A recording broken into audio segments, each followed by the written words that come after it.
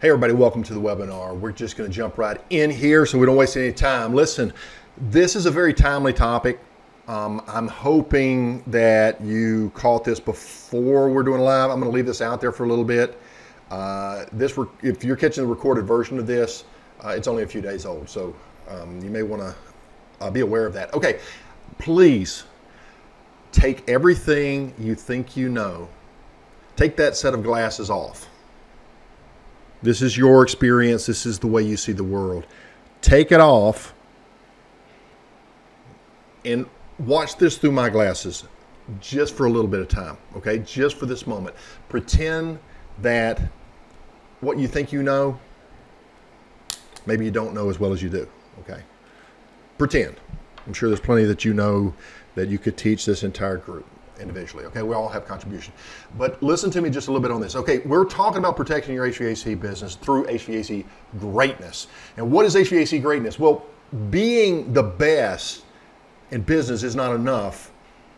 You have to be perceived as the best, and there's more to it than that. My name is Pete Ramsey. I am the founder and owner of HVAC Greatness and a newer program called the HVAC X Factor. What is that X Factor that sets you, the HVAC contractor, aside? Those are my two main platforms. Guys, I've been around for 38 years. Uh, that's me in the top left hand corner uh, in the Army uniform when I was stationed in Honduras, pretending to work on a, on a uh, reach-in unit. There's a reefer unit, we called it. Basically, this hung on, like, it was like a barg that hung on the side of the wall. They'd hang on the side of the cooler box, and we worked on those. Um, I've, I've done residential, I've done commercial. That was my business down there on the bottom left. I've been in training after training after training. Top right-hand corner, that's Ron Smith. And myself, um, I've been through a lot of training, worked with Lennox for many years, looked for, worked for Goodman for just a little bit. The point is, been around a while. I put myself out on Facebook, on YouTube. You may have heard through me through there. I do some online training uh, through private groups as well as uh, online specific where you can log in. The point is, guys, I'm not somebody standing up here to pretend that I know something. I, I know your world because I've walked many a mile in it. I have not only I not only have the scars on my back, on my hands, right? The, the burn right across here from, from that suction line, you just brazed in and reaching over doing the discharge line right? I've got the, I've, I've, I breathed the phosgene gas, guys. And most importantly, I've stared at the ceiling all night wondering how I'm gonna make payroll next week. I've stared at the ceiling at night wondering what are the guys gonna do on Monday because that job canceled. I've been there, okay? That's all I'm trying to say here. We're turning into a different situation. I really want to bring this up you guys, unless you live on another planet, should be aware that we are in a debt situation as a country, United States I'm referring to, uh, like never before in the history. Now, because the United States is such a pivotal um, piece to the global pie, it doesn't matter if you're in Canada or somewhere else, you, you still want to pay attention on this. Something worldwide is happening right now. Here's an article from Forbes magazine and it's mentioning six reasons why inflation will not be transitory. Well, we're going to talk about the next step beyond inflation. We're going to be talking about deflation briefly before we get into the HVAC aspect of this. But these are some of the elements that they cited. They talked about excessive levels of debt. We just talked about that. We're, we're as a nation, we're heavily in debt. It's not our fault. It's our uh, lack of government, if you want to say. Anyway, record fiscal deficit spending combined with record monetary stimulus. We're just spending like like we're just rich, right? And uh, we're not. Deglobalization. We've seen so much work go out, and some of it's coming back, and so we're in a unique situation right now. Energy prices on the rise. Uh, they're raising the minimums on pay, so we're seeing pay going up. We're seeing the dollar depreciate. And I want to talk about this piece just briefly. Okay, I've mentioned to some of you on some prior videos, go buy XRP. and what I was talking about on that, that uh, right now, the Security and Exchange Commission is in a lawsuit. It's been going for uh, quite a long time, I guess about eight months. And it's, in my perception, this is a bit of a show, okay? This is coming. XRP is a digital asset you call it a crypto coin. A Bitcoin is not the same. I'm not talking about Bitcoin. I'm not talking about Ether or Ethereum. I'm not. I'm, I'm, I'm not talking about proof of work. I'm talking about using the digital technology of blockchain for decentralized finance and how it's changing everything. And they pretend that we're going to have a lawsuit and we have to regulate this. Guys, they know what they're doing and they are way ahead. Here's the proof these are the players that are already in partnerships right now. We're talking central banks, including the Federal Reserve. We're talking the IMF, International Monetary Fund, the BIS, the Bank of International Set- Settlements. SDRs, or special drawing rights, this is kind of like the money for the central banks, right?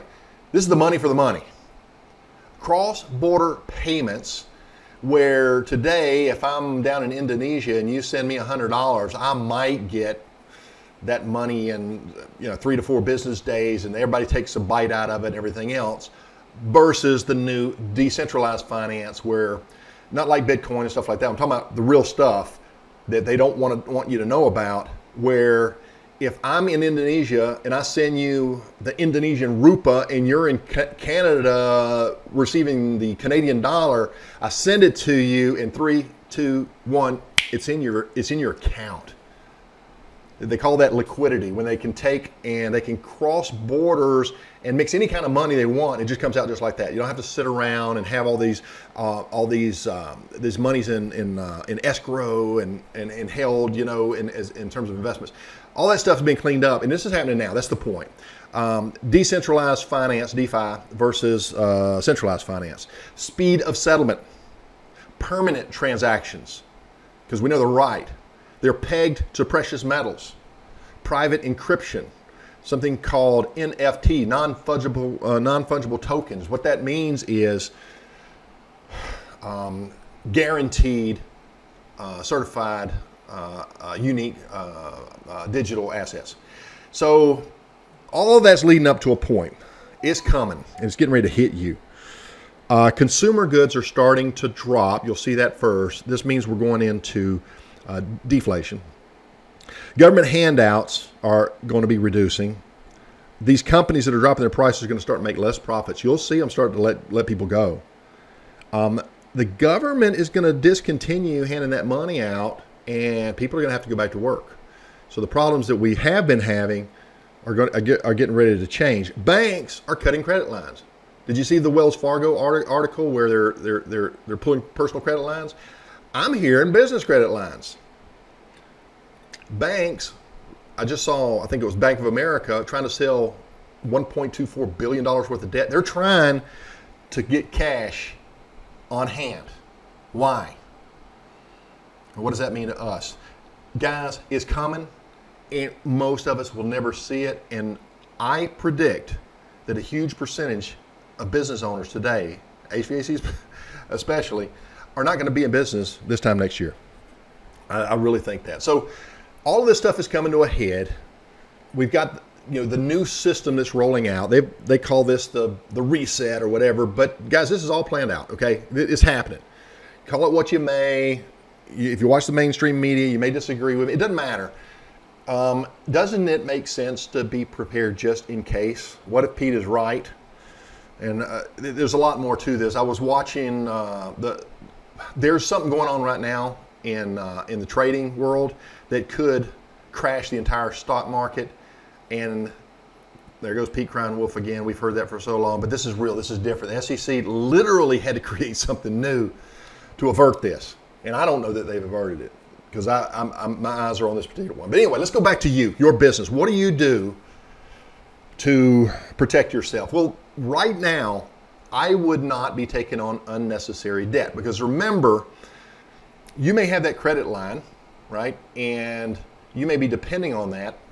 But if the banks have to make a decision between holding on to cash or lending it out, holding on to it and taking care of themselves or lending it out and taking care of their customers, I think you know what's going to happen. Your credit line is gone.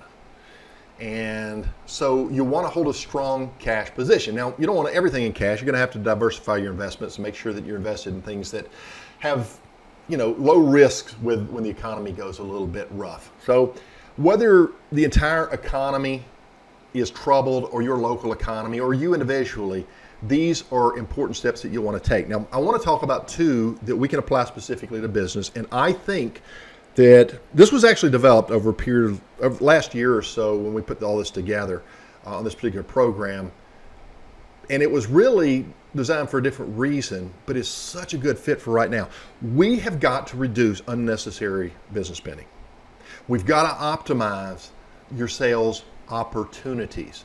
Spend less money, make more money, and do it with what you got now. You are wasteful and that's what we're talking about. You got to do more marketing and do less advertising. Pete didn't marketing and advertising the same thing. Well, for some people, they think so, but it's not. Um, advertising is a subset of marketing. And advertising is something, you know, you can put an ad out and, and, you know, you're trying to get new attention and business and everything else. But marketing is something that you do universally. This is brand shaping and developing. This is your reputation by design. The things that you do before your customers come in and buy from you, but also the things that you do during and after. That is marketing. And if you know how to market, you, it really puts you in a strong advantage because when we're looking at all the different aspects to this, okay, I get a lead, okay? Is it a warm lead? Is it a cold lead? You know, you paid for leads, right? And, and it ends up being a piece of junk lead, right? Um, the cost of new customer acquisition, not new leads, new customer acquisition. All these different variables and these questions. So when we're advertising for new customers, we've got the cost per lead, yeah, but what about the cost for conversion? I might spend $1,000 and get 10 leads, that's $100 a lead. But heck, if only one of them buys, that's $1,000 per customer. You get that? You need the entire process in place. Okay, return on investment, you know, you put money out there, you put energy out there, you've got to get return on that investment. Uh, the quality of each lead, are you advertising to people that you really don't want as customers? Is your marketing an advertising agent advertising to people that you really don't want? Do you know how to attract your ideal customer avatar, or do you even know what your ideal customer avatar is?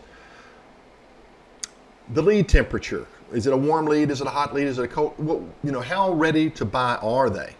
And what about the again the customer types?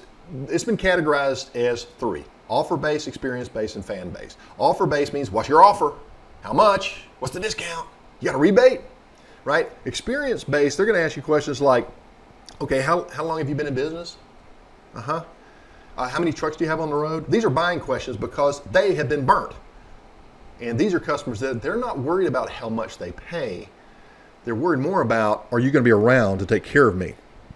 Fan bases, well, they're they're on your team. You've already proven yourself. Okay, so when you're advertising to people, uh, there's certain aspects about acquiring new customers is you got to break them in. Okay, they got to they come from one mindset and maybe total ignorance or misconception, and you're going to have to bring them on board, and you're going to lose a percentage of them. Why? They do not know you. They got to get to know you. They do not like you. You got to do something or perform, interact in a way that allows them to like you. And they got to trust you. Can, how do you prove yourself trustworthy? Right? Are you leaving that up to random technicians' people skills? Oxymoron, just kidding, techs. But are you leaving it up to the individual, or you, do you have a process that's going to help them uh, build that trust naturally, uh, organically. So, and um, how many of these customers that you're just throwing advertising at are just value based? They're just looking for the cheapest thing because they don't know how to measure anything else when it comes to HVAC. They don't know. They've not had the experience yet. And how many of them saw somebody else's ad, complete four ton system for $4,500 installed, right? And, you know, come on. So Pete is hit up all the time. You know, hey Pete, how would you like three to four more leads? Could you use this? You? I'm hit up all the time. Most of these companies aren't really companies. These are individuals that are crossing into our market because they've learned a certain skill set, and many of them are new, and many of them are not as experienced, and many of them don't know how to apply it to our industry, and they don't understand the differences. You need a good advertiser. Get you a good one and start to measure that stuff because you're going to have to supplement your existing customers. But this program is focused on taking advantage of the opportunities that are right with you right now. Your existing customers, they already know you, they already like you, they already trust you. You have a relationship. And your technicians, your frontline team, they're comfortable with these customers because they're the ones that go in and out their homes every day or small businesses. And generally, there's very little resistance encountered when you start to bring up issues to these customers. You've done the work. So, new customers are best when they come from existing customers. We're talking about referrals here, guys. You know, we've got organic growth, yes, but fan customer referrals are powerful. This isn't, hey, call my buddy Pete. This is, oh my gosh, We've had companies out here, they were total disaster. You got to get our guy, Pete. He does this and that and the other, right? That's, that's what happens. And they're like minded. Birds of a feather flock together. Your best customers hang around people that are likely to be more best customers because they share the same values and, and, and, they, and understandings. Okay? And they're experience based generally.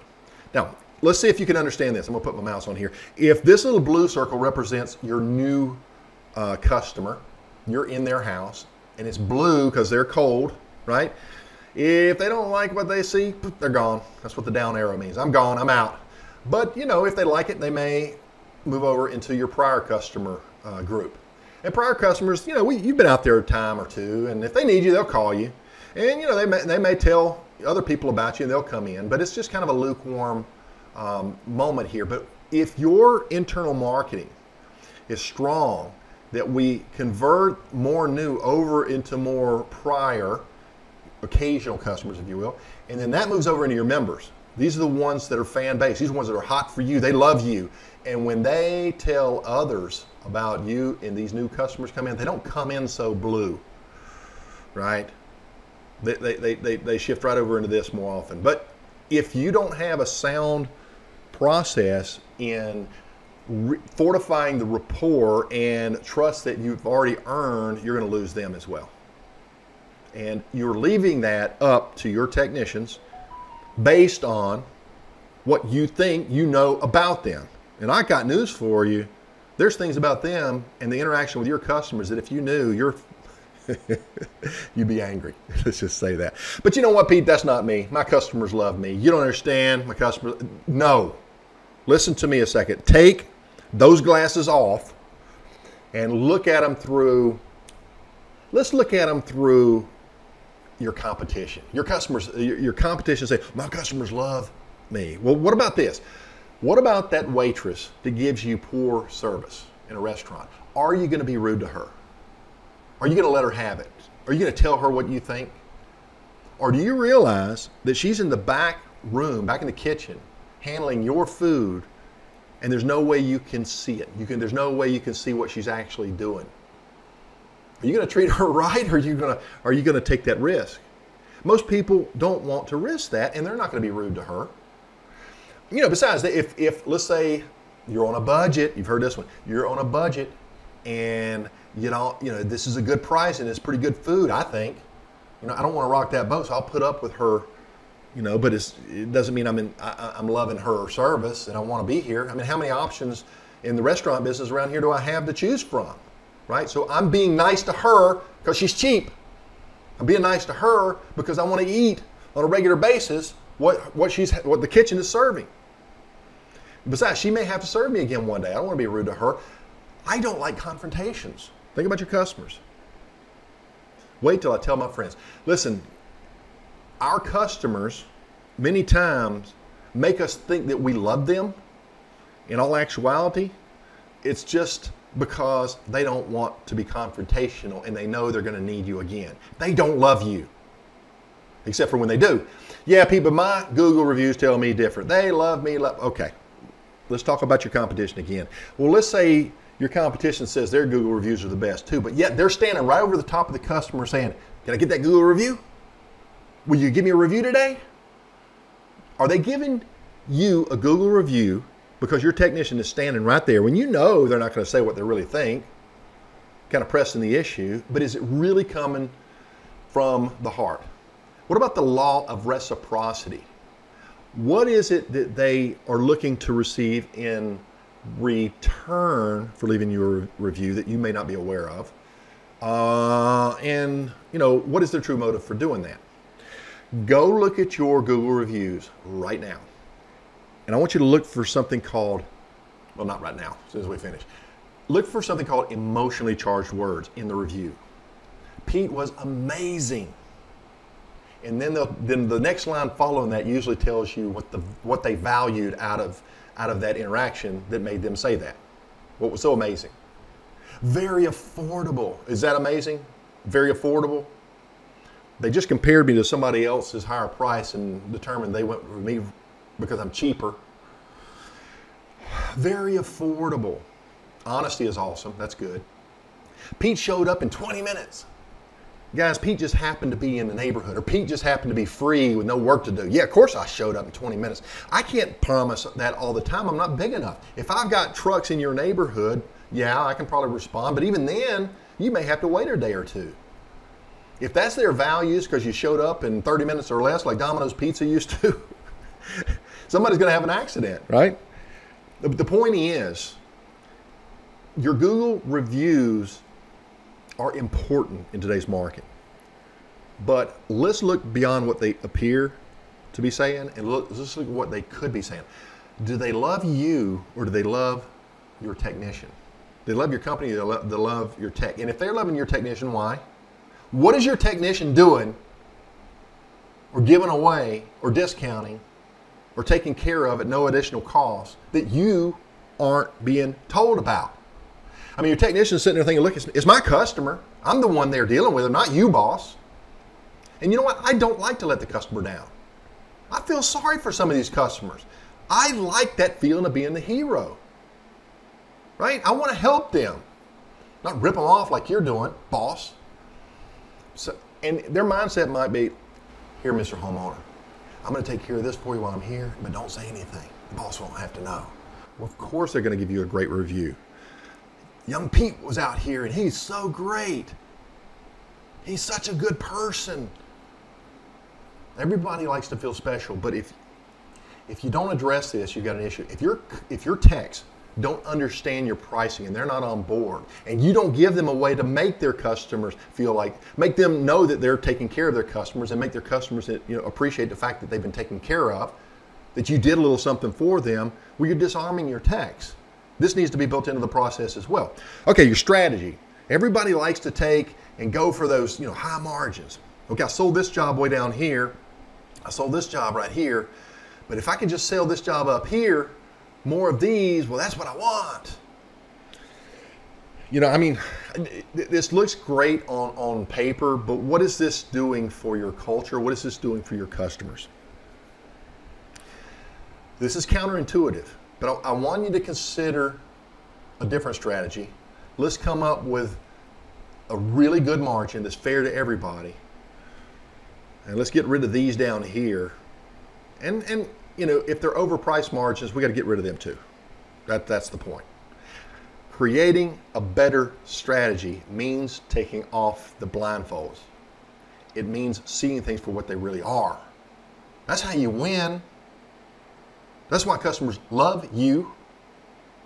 It's because you're a cut above. So everybody's got to win. Your technician has to be on board. Your company has to be taken care of. And your homeowner needs to feel special because it's not about the equipment, it's about the customer. That equipment may be in love with your technicians, but the equipment doesn't have a telephone, the owner does. And they're the ones that are call you back or not. So here's the here's the formula. It's really simple. Step one, rapport. Make them like you on some level. Click with you. Level two, trust. That opens the door. When you have rapport, it opens the door for trust, and there are things that you can say and do that build trust or break trust down. Now, if you already have that established and another technician comes out you can break rapport and you can lose trust. So a process needs to be building and reinforcing both all the time with every tech because everybody does it. Why do they do it? Because they believe in it. They know it's the right thing to do. Well, we still have a communication issue. I'm going to talk to you about BTUs and superheating, subcooling, and balancing your air, and amp draw, and you know, low of charge, and evaporator leak, and condenser head pressure, all kind of stuff, and your customers hearing wah, wah, wah, wah, wah, technical stuff. They don't know what you're talking about.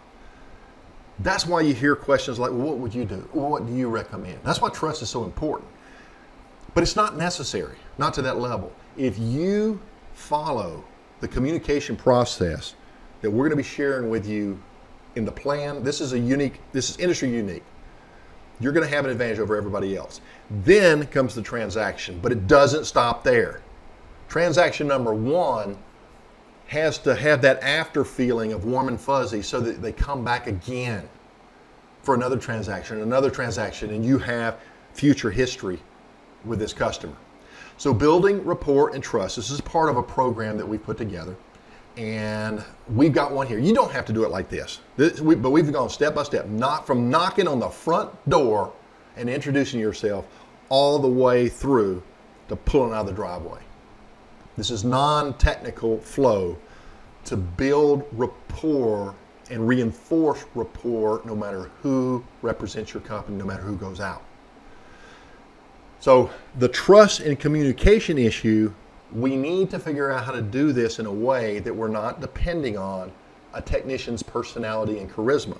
You may have that one tech that everybody loves, but what if your not so great personality tech followed a process and communicated in a way that didn't require that? What if we replaced that missing element? You are wasting your money right now on advertising and going after that little $300 call. Your technician walks out, there's that $300 repair right there and they walk by two, three, four thousand dollars worth of opportunity. I'm going to take care of that two hundred fifty, three hundred dollars. And what do you do? You go, you go buy more customers, and you're not even taking care of the ones that you have. Stop paying for more customers and start taking care of the ones that you have. Here's an example: the struggling HVAC contractor.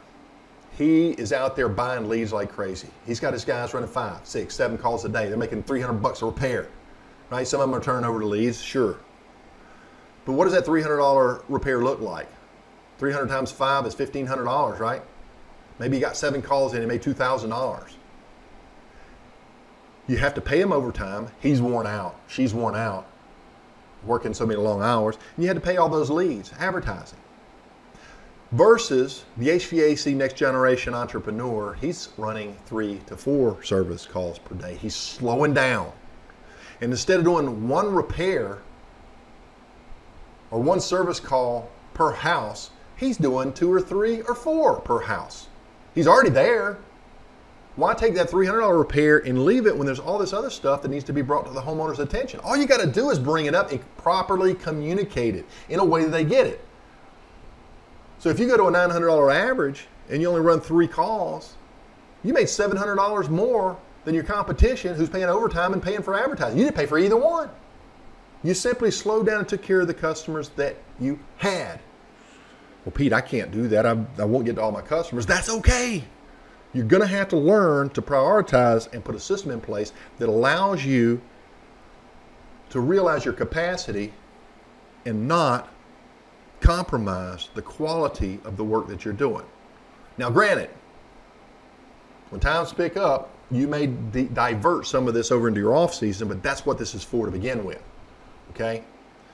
So that's just the tip of the iceberg. Overpaying for advertising, you know, your service tickets are too low. Here's another one your equipment sales leads aren't fully executed, they're not fully mature. You get, your, your comfort advisor may get a lead from your tech, but man, if they get your lead from a tech who's done this level of service, they're ready to buy, for goodness sake. Your comfort advisor is going to love those leads because they close them, they get them. Your customers are being underserved. Your technicians hate to sell and you're asking them to sell. Go put in that UV light, sell some more maintenance agreements. You need that stuff, but you don't want them selling it. We need to consult our way into sales, not sell you have no work during the off season or low work during the off season. You're losing big profits on the work that you do have when you go out. Your technicians are seasonally overworked, lots of overtime, wearing them out.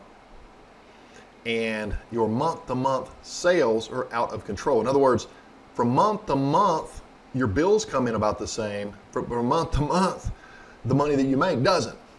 Right? You make really good money one month and you're starving the next, trying to struggling to make your bills. And all this just creates chaos for you, the owner, and you're overwhelmed and you know it. So the service tech's perspective is important. They are often feeling pressured to hurry up and run and go to that next service call. It usually comes from the dispatcher, which is understand it. He or she uh, are, are under pressure. Okay, got to address this. We want the technicians to be proud of their work because that's what they want. They want to be proud of their work. They want satisfaction from giving their best work. They want to do what's right by the customer, as we mentioned earlier. They want to enjoy that customer's satisfaction and praise. Everybody wins when they get it, but it's the way that they get it that matters. Easily persuaded by customer pressure. They like the customers, and the customer can you know, come on, help me out. Do this on the side. There's all kind of stuff that they may try depending on the customer. And, and, and you have technicians that are easily persuaded, influenced. You got to give them some relief on this in your process so that you win and the customer wins and your technician can be the hero. They hate to sell to customers, so don't make them do that. Allow them to consult instead, and they get burnt out by the long hours. Now, the customer's perspective is based on ignorance and misunderstanding at first, uh, depending on how much experience they have. But before they invest, we have to deal with that. This is a process. And when you learn to take them from, I don't know, I don't, do I need that? What does that mean? Over to, okay, I get that. Yeah, give me two. right? In other words, consumers hate to be sold, but they love to buy. So what we have to do in our process is shift that over and put your customers in power and in control by allowing them to understand exactly what all this stuff is and what it means to them. So marketing by delivering greatness is key. Right? being the best and walking the walk of the best is what it takes. And it's important to have an entire team working together. And by team, I mean your partners are your employees, sure, but your customers are also partners in this arrangement. Everybody's got to take care of everybody along the way. And in order to do this, we got to follow a process step one, step two, step three. And think about dominoes, all right?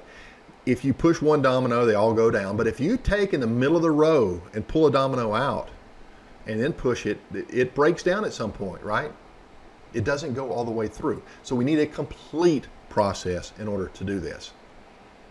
Your secret weapon, and this is what's unique to this course, I think, among a few other things. If you're saying to yourself, yeah, Pete, we already do that.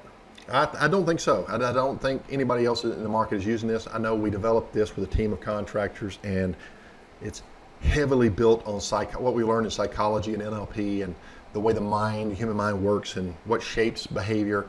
And we've got a secret weapon. So what we're going to do is we're going to do a live workshop. Okay, it's called the Complete Consultative Service Call Process. Now there's other pieces to this machine, but we want to start here, guys. We're getting ready to go into some tough times I'm pretty sure. And whether we're not, whether whether we do or whether we don't, what we the most important moment is the moment where your service tech in your business is where your service tech is interacting with that customer. That's where the magic happens or it fails. And if we get that handled right, we can really make a big difference. Now, you got to be thinking about all of the different aspects to this. Increase your service ticket averages. Well, listen, guys, if because consumer spending goes down and they quit replacing equipment, you better eh, raise your average service tickets.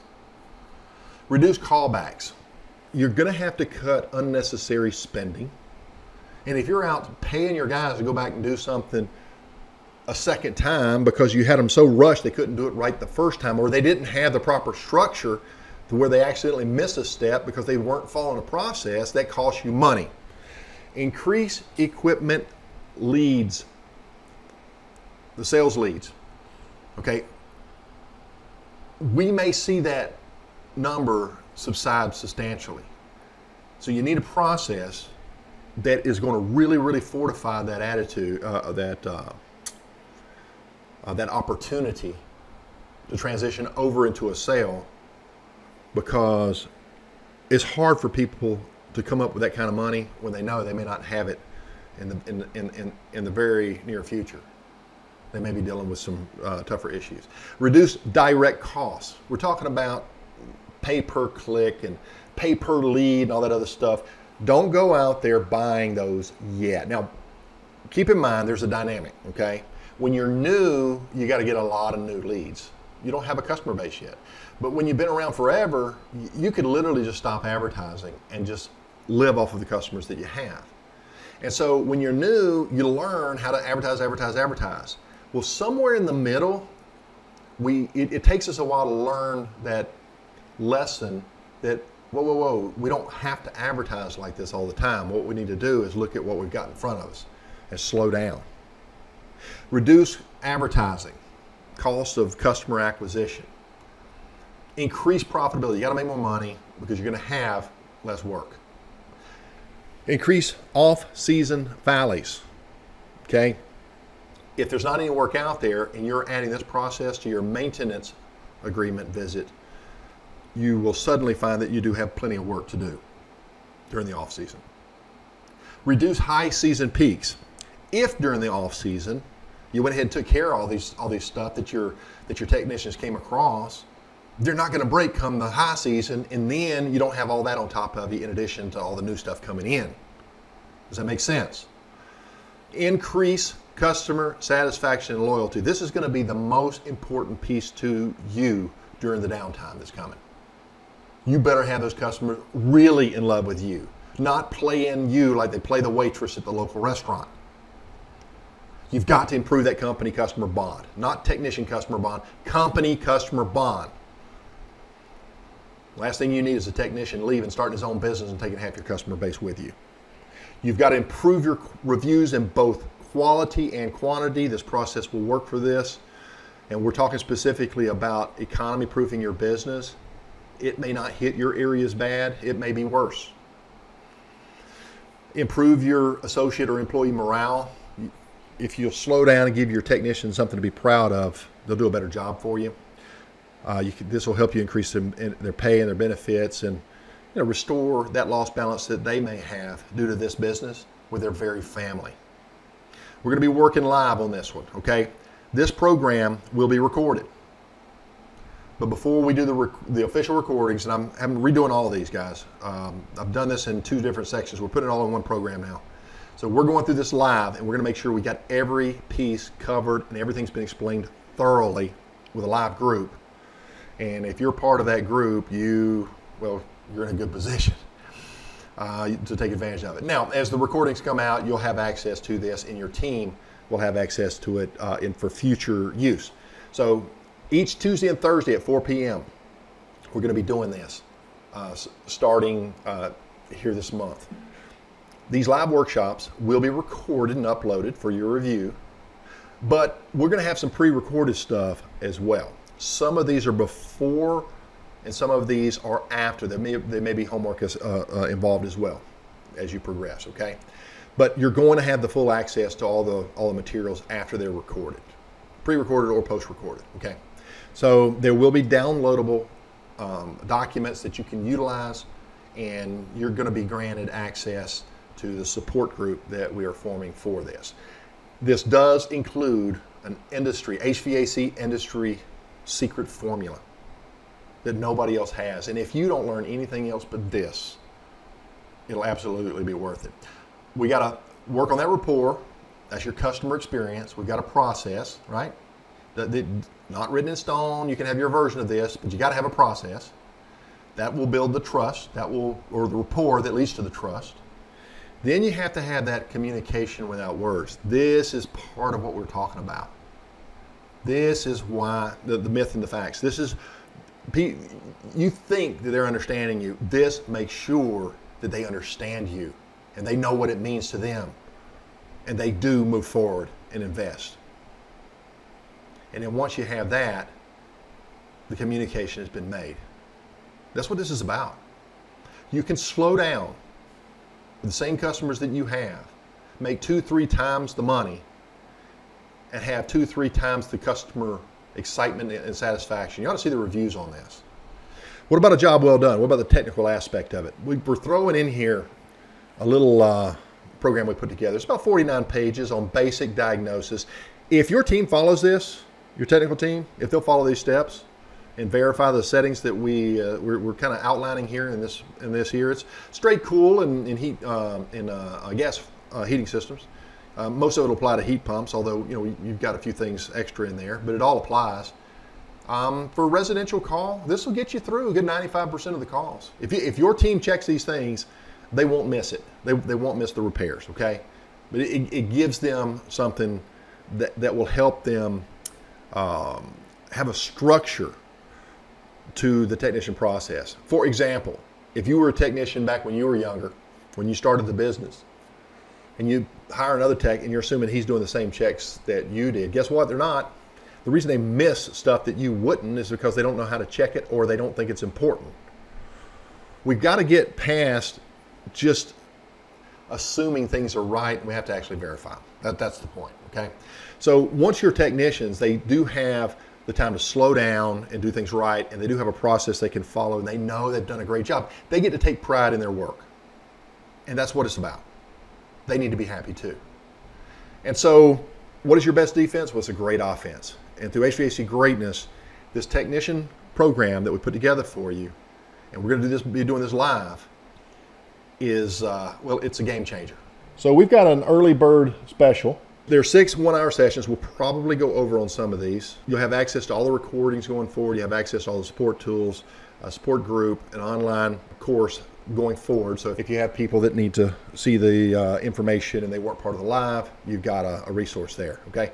And so it's just in time for things to slow down. Normal price on this, I think when we're done, we'll probably be somewhere in this price range here. But in your case, if you catch this early bird, we're going to take care of you. So let, us say you, you used to do $300 repair and one time you get this program working for you and you make it turn into a $900 repair, you just, you're $600 up. well, you just paid for the whole program and more. That was the point. The early bird level is $397. And guys, that's six weeks of live training. It's group training, but it's, it's live training. And the groups are small. Okay? You can get in and be a part of this for less than 400 bucks. Okay? So I'm going to end this recording here. Let me look real quick and see if we got. Uh, what if we miss meetings? So yeah, I'm recording these live. These will be uploaded on the platform, which you'll have access to. So if you do happen to miss one, you can go back and watch that in your leisure. And let's see, can employees join? Yes. If okay, so this is done in a way it'll be presented to everybody. So part of the time I'm talking to the business owner, part of the time I'm talking to the technicians, and and, and, and any key employee, right? So we're transparent on this. There's nothing to hide. We're not going to have any secret information that you don't want your employees to know. So this program, you can have everybody in there. Okay.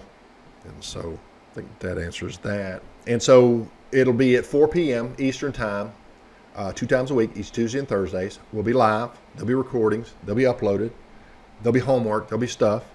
But we'll try to keep it in a way that you can still run your business and everything else. Just pop in there, get the information, and we'll give you small bites on this so that by the time the three weeks are up, you've been through the program, you get it, and it's delivered in palatable bites so that you can roll this out to your team and get this on board. Remember, this is not training, this is change. Your technicians don't need to be told, they need to be they need to buy in. And that's what we're going to do is show you how to get total buy-in from your team and transitioning from a service technician, or worse yet, a selling service technician, over to a consultative service technician that your employees, uh, that your customers will love. Okay. So if there are not any more questions, Pete Ramsey here, HVAC Greatness. Check out that link, pop in there, and jump on. And if you do miss the first live one or second live one because you're late getting in here, don't worry about it. We'll post those. Uh, you'll be able to catch up, okay? Because we got a lot of uh, groundwork to lay in the meantime. Pete Ramsey here, HVAC Greatness. I'll see you on the next one.